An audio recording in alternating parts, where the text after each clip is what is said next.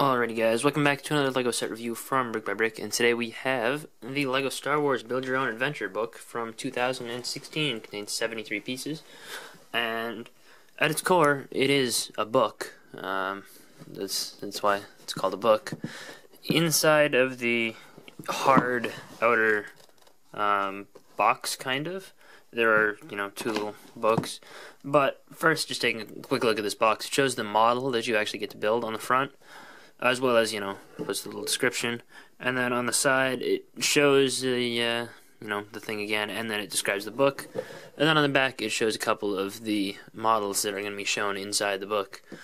And uh, on the top it also shows a couple of ideas which are kind of cool. Um, you know some of these are kind of funky and I'd like to look through the book at some point in order to figure out exactly what kind of cool stuff is in there. But the basic format of the book follows a little story about this guy, and it actually does uh, tell you a little bit about him on the front um, page. And this is Zin Evalon, or Evalon or something, and it's his Y Wing. And the rest, it does show you the instructions inside the book. Uh, as well as um, you know, just some cool pictures and some different uh, building techniques and stuff, which are kind of cool and kind of helps you get towards making these models. Uh, they're featured in the book, but it doesn't actually show you like piece for piece how to build them, which I think is good because it you know inspires kids to try and figure it out at the very least. Which you know, as far as building something custom goes, you know, I mean, it, it's better to have to try and figure out where you're going because maybe they'll end up figuring out oh that they don't know how to do that, so they'll do something else instead. You know, it gets kids into the uh, you know trying to figure out how to build stuff uh, mindset, and yeah, I, I, think that that's a good thing. It does follow um, kind of the series of locations in the movies, not exactly, but you know. Anyway, that's it for the little book.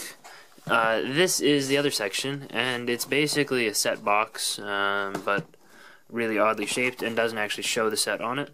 Um, the one cool thing that I'd like to note is that this is one of the sides of the box, and it's basically a landing pad for your Y-wing. And this, I believe, is actually featured as like an actual build in the um, book, if I'm not mistaken. And this is a one-to-one scale, so those are actually the same size as studs. But um, shows all the parts there. Let's open this up and get uh, building. Did it. Wow, that is a uh, small bag of parts. I guess you shouldn't expect too much for only 73 of them. But there goes the box. You like that magic trick?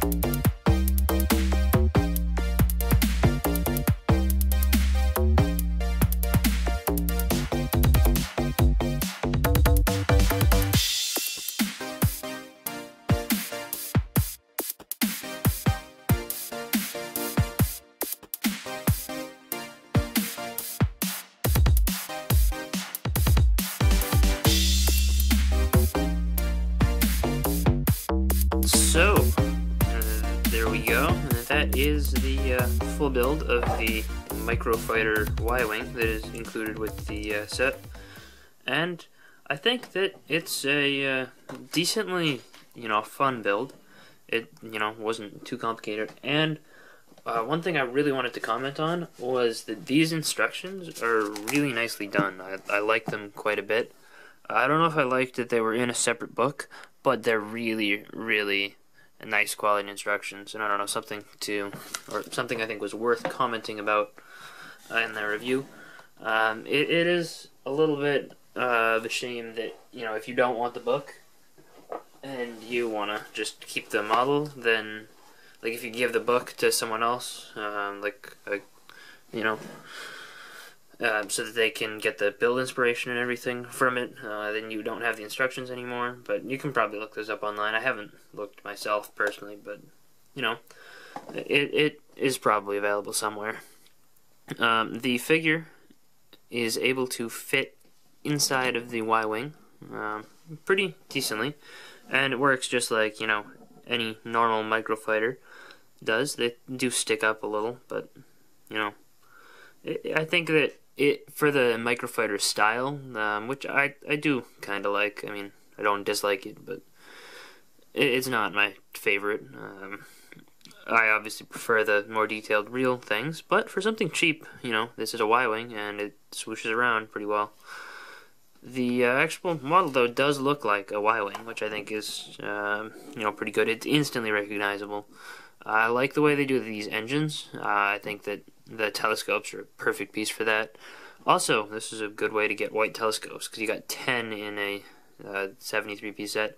I think the book might be $18. I'm not 100% sure on the normal price, but you can easily get it on sale, I believe. Uh, I forget if the sale price is 18 or if the regular price is 18 because I did get this for Christmas, so I didn't pay for it. But uh, I, I, do think that you know, for a model, it, it's good. It's definitely worth the 10 or a $10 price point of a microfighter.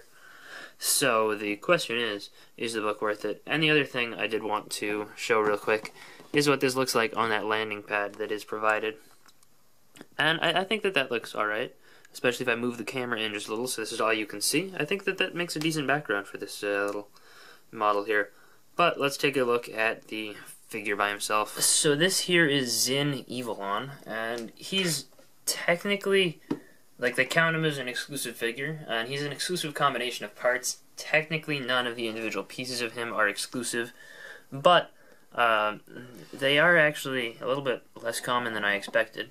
The face is the now standard um, X-wing pilot or resistance. I mean rebel rebel pilot rebel pilot face. There we go.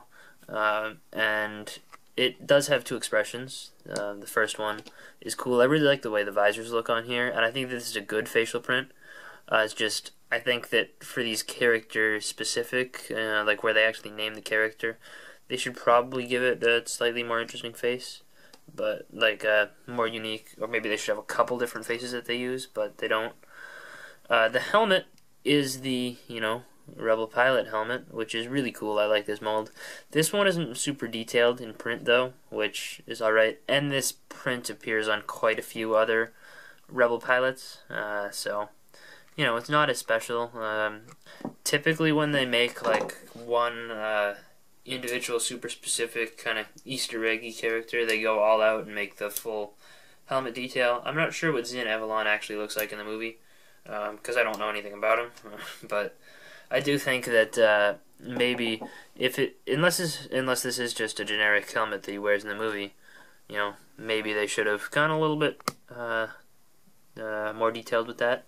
The torso looks pretty good though. Um, at first glance, it looks like the standard, you know, modern resistance. Um, why do I keep saying resistance? Uh, the modern rebel pilot outfit, and you know, is very similar to that. But this is actually a relatively uncommon torso and legs, according to um, Brickset. But um, it, you know it, it could be just that it's a new item number, but according to Brickset, this only appears uh, elsewhere in the X-wing microfighter, which is is interesting to me. I mean, uh, I would not really expect that, but you know, uh, I, I, guess that's cool if it is exclusive uh, to these two sets.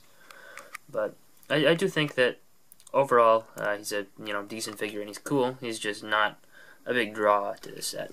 So that's pretty much it. I do think that, uh, you know, the Y-Wing Microfighter is good for a Microfighter. I think that, you know, it's instantly recognizable, and the proportions aren't too super off. Uh, I mean, like, the front cockpit is a little wider than it should be in this scale, and the whole thing is a little shorter than it should be, but, you know, I mean, it's a microfighter, so that's what you'd expect. The figure is alright, and it's cool that they actually gave him a name. Um, but, you know, I mean, other than that, it, it's just a little microfighter and a figure. Um, because it's part of a book, the price is more than it would be for just a microfighter, which I, I haven't looked too deeply at the uh, build inspiration book, but um, you know, just uh, just from the actual parts, no, it's not worth the price of the, the full price of the book. Uh, if you're you know in the market for the book and you like the build inspiration which i you know from what i've seen it looks pretty good uh, and it looks very well uh, well written and uh, well made better than some of the other uh, Lego books I've seen in the past. Um, but I, I I think that it's good. It's just not for everyone. So keep that in mind. But you know, if you're willing to give the book a shot, I, would say you know this this is pretty good. However, I would have to caveat that with uh, maybe I'd recommend if you're looking for one of these build your own adventure books for the build inspiration and stuff. I might recommend checking out the uh, DC superheroes one with the exclusive. Uh, oh, what's his name? The the Green Lantern, John Stewart, John Stewart, Green Lantern uh, figure. So yeah, I do think that this is an all right little uh, build. Well, I I think it's a good little build. I just don't know if it's worth the uh, price you have to pay to get it with the book. If this was released as its own separate microfighter, yeah, I'd recommend it. Um, but you know, it's kind of if this what you're looking for, then you're gonna like it. If it's not what you're looking for, yeah. So I hope you guys enjoyed, and I will see you guys all next time. Let me know what you guys think of this Build Your Own Adventure book, and uh, yeah, I'll see you guys all next time. Bye, everyone.